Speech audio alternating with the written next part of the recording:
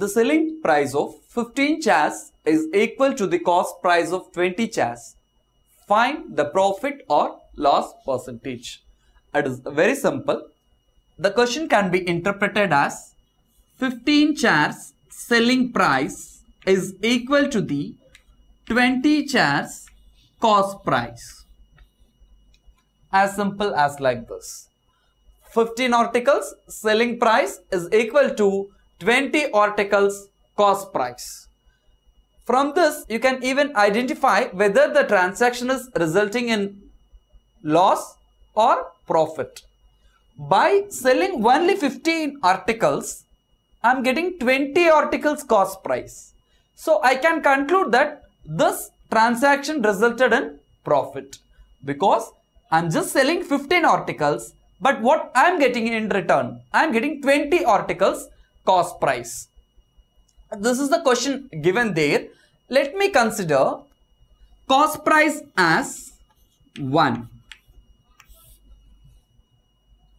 So 15 articles selling price will be 20 into 1 that will be 20. Got it? I am assuming the cost price is 1 rupee. So 15 articles selling price is equal to 20 into 1 that is 20. Now I got 15 articles selling price. Now I need 15 articles cost price. As I kept cost price as 1 rupee, 15 into 1 rupee will give me 15 rupees. Now I got selling price and cost price. Here selling price is greater than cost price so that I can conclude the transaction is resulted in profit.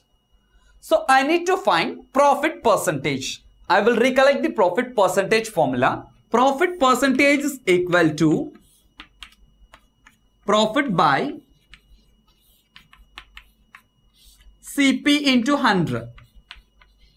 Profit percentage is given by profit by CP into 100. Profit is calculated as selling price minus cost price. Selling price is 20 rupee. Cost price is 15 rupee. Profit is calculated 20 minus 15. So profit is 5 rupee. Cost price is 15 rupee into 100. So this can be simplified as 1 by 3 that is 33 1 by 3 percentage will be the profit percentage.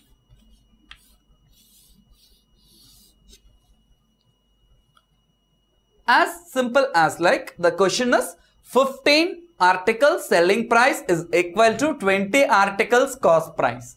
I am just considering cost price as 1 rupee so 15 articles selling price is equal to 20 rupees. Same, I got the selling price, I need to calculate the cost price. So 15 articles cost price is equal to 15 rupees because I consider cost price as 1 rupee.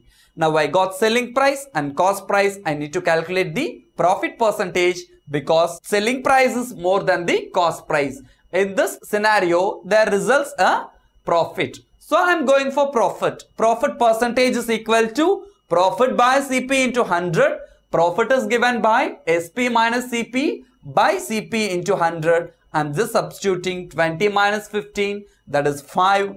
Cost price is 15 into 100. After simplifying this, I am getting profit percentage 33 1 by 3 percentage. In the transaction of the selling price of 15 chairs is equal to the cost price of 20 chairs the profit percentage is 33 1 by 3 percentage.